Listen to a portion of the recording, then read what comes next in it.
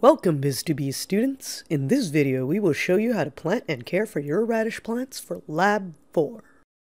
The seeds and plants you see in this video may appear different than your own, but do not worry. The planting method is the same.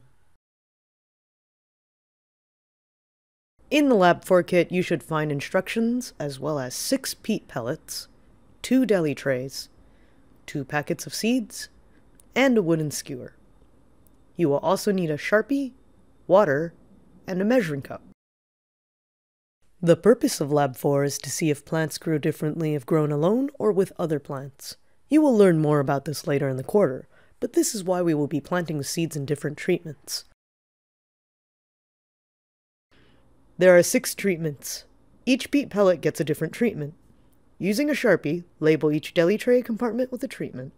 You can use initials to indicate color, for example, P for purple, and W for white. After labeling the compartments, place a pellet in each one. Please note, you will have two unused compartments.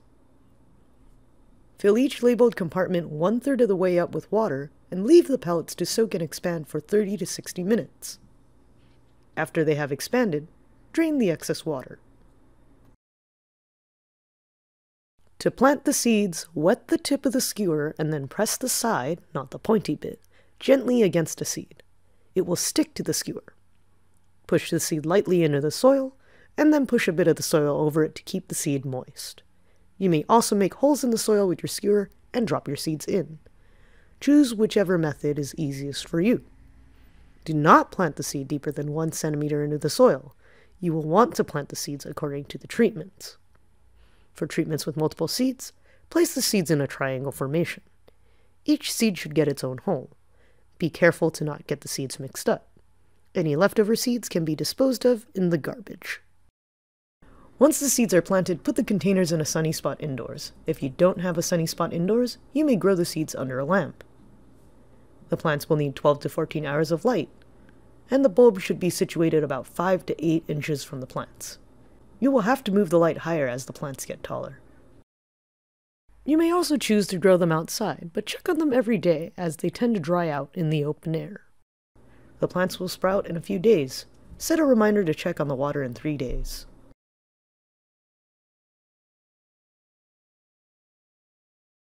For those of you sourcing materials on your own, you want plant pots or plastic cups.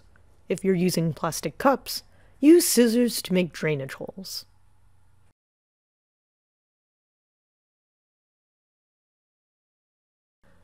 Label your cups or pots with the different treatments. This is about the same as the steps in the beginning of the video. Use this image as a guide. You will moisten your soil before using it for planting. Make sure that the soil is not soggy but can hold together we recommend buying potting soil as it is clean and has the proper nutrients. Pack each cup with soil leaving about an inch of space at the top. Then, plant according to the treatment written on the cup. As with the other plantings, we'll dig a hole no deeper than one centimeter, plant the seed, cover it, and water it in. Stick to the schedule that we've outlined for you and you should have successful plants for Lab 4. If you have any questions, please consult the troubleshooting portion of the guide, or ask your TA. That's all for this video. Thank you for watching.